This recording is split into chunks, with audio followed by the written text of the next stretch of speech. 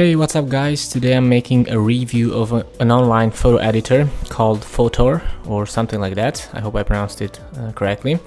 Uh, this is the website and for those of you who are wondering, I'm not getting paid for this. Uh, I just uh, it's just a cool editor. Uh, so I think uh, that for people that don't have Photoshop or if you want to make a quick edit of your photos, you can you can use this editor. Um, this is the link. It's fotor.com. I'll put the link on the video description as well, so you can uh, so you can come to the to this website. One of the great things of this uh, editor is that uh, you have it online, so you can use it uh, on your browser. But you also have it for iPhone, Android, Windows 8, Mac, or Windows, so you have a lot of choice here. And the video will be uh, for the online version.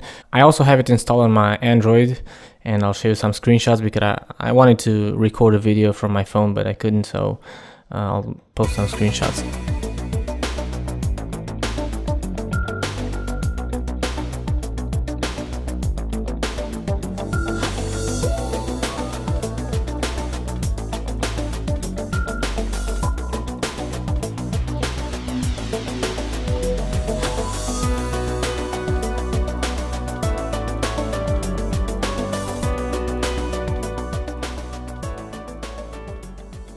But uh, well let's um, see a bit uh, how this um, how this um, editor works. Uh, yeah you also have the extension for Chrome. I don't have it installed so you can try that as well. Uh, and it also has a banner maker which is really cool. So if you have a personal website and you want to make a banner you can just uh, click that uh, button there on the main page and you can set the dimensions for your banner. And just click start now. And you have uh, one thing that I really liked about this editor is that it has a lot, a lot of uh, presets, so you can choose from a lot of pre-made uh, designs, backgrounds, clip arts, and stuff like that. So you can design your banner and then save it on your computer. Uh, but let's go back to the to the main page. And if you want to go to the editor itself, uh, just click open photo you can uh, make collages or cards I'll show you how that works. Or you can go to features and uh, you have all the features that the editor has and from here you can open the editor. But uh, let's go to the open photo. And I'll use these two images for for this tutorial for this review or whatever. So you can see you can add photos from your computer from Facebook from Picasa um, Flickr web or so you have a lot of choice here as well. Let's add another photo, this one. And all the photos that you will add will appear here. And it's in some ways like Photoshop, like having the layers here. So you can select each photo and you will apply this, uh, the edits to it. And here on the top part, you'll have the, the main editing tools. So this is for, uh, for uh, making adjustments to the image uh, making color adjustments. Uh, let's discard that. So uh, once you select the main type of edit that you want to make to your image, here you have all the settings, all the options that you have for that particular, um, let's call it mode.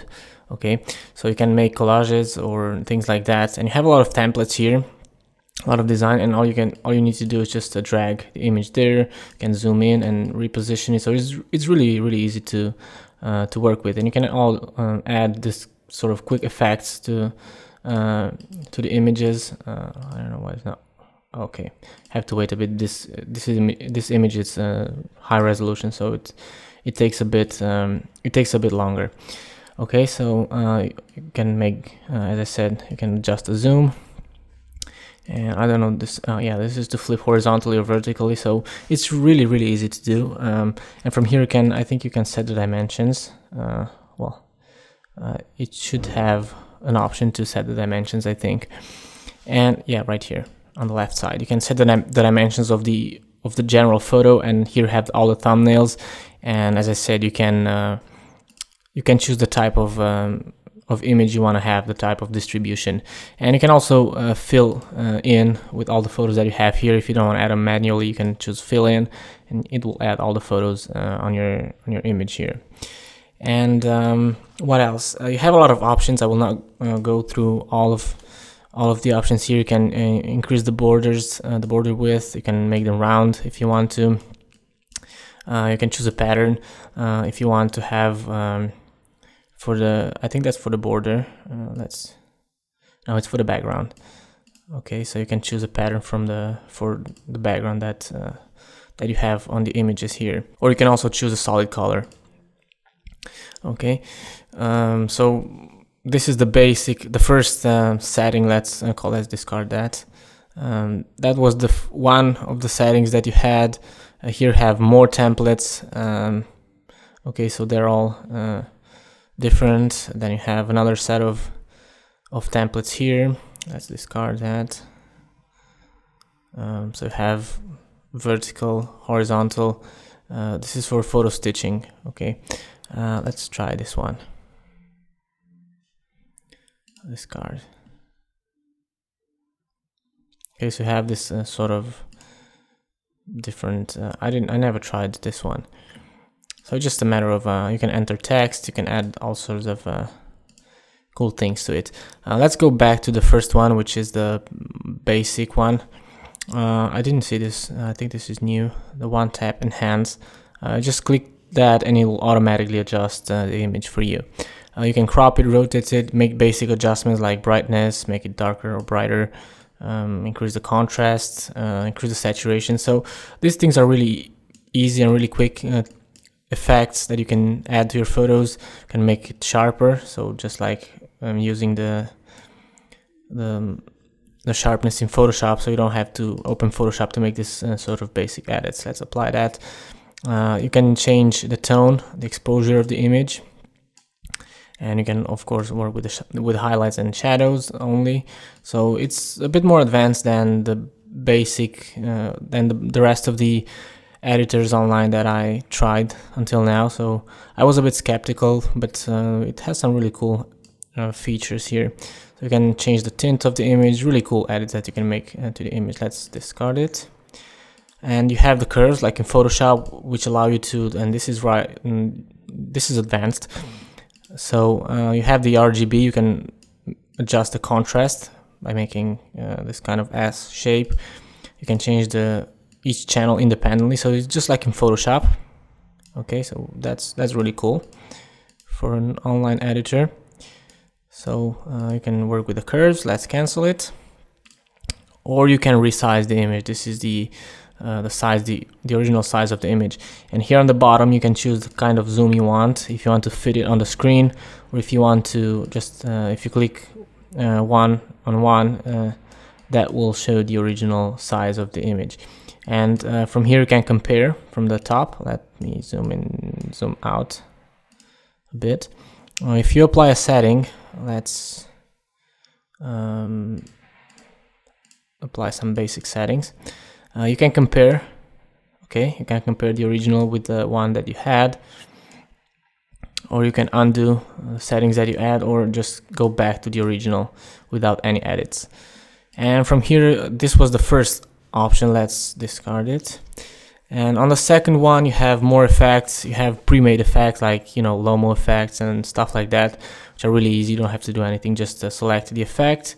And you have some controls from the strength that you want for that particular image. So for personal photos, like uh, photos of yourself, if you want to upload them to Facebook, or if you already have them on Facebook, you, you can import them here from, from your Facebook account. You can add quick effects here and then you can save them. So you can see that these are really cool uh, settings, really cool edits and really easy to apply. Just selecting them and adjusting the strength and you have vintage effects, black and white and all of the settings here which are really really cool. I will not go through all of them because there are a lot and I don't want to make this video too long. The mosaic uh, effect allows you to pixelate an image like that if you want to exclude someone from the image and you can uh, change the, si the size of the brush or the intensity the intensity of the effect see that it basically changes the, the size of the of those pixels and you can erase that effect if you want to exclude if you want to delete the effect from the image and then you have frame effects. Let's discard that. I think these ones are the frames. Yeah have a lot of pre-made frames for images. So just select them and it will add the frame. And you have all of these options here which are uh, you can change the for this particular kind of borders you can change the color. So you can have a different color for for the border. And then you have uh, more options which I think these are the clip arts. Yeah you can add clip arts to your to your image. Let's add this one. Let's discard it. So you can add like uh, funny clip arts to your image. You can change the opacity of them. You can change the size of course. And one really cool thing is that you can also change the blend mode just like in Photoshop. That was quite surprising for me. So you can see you have all this blend modes and they work exactly the same as in Photoshop. So you can see that this has uh, between the teeth you have that black background. If you set this to to screen if I can find it you will see that the black background goes away just like in Photoshop. Okay so if you change this to multiply you will see that it will become darker.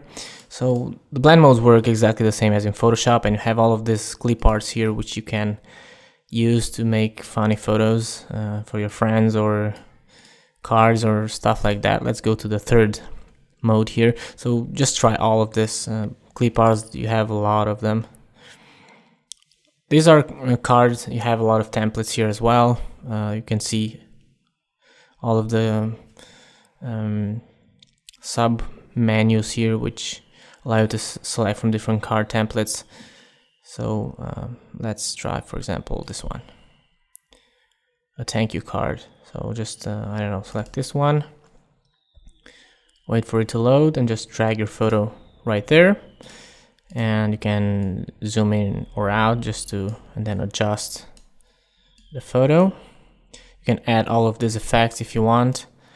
And uh, let's see uh, you can add clip arts to here or uh, I think this one's well the text can be changed but this one the background cannot be changed I think um, but well let's add a love clip art for example this one make place it there make it a bit smaller and change the blend mode let's say to let's see if we have soft light or we have overlay so let's try, for example, multiply, set it there and reduce a bit the opacity.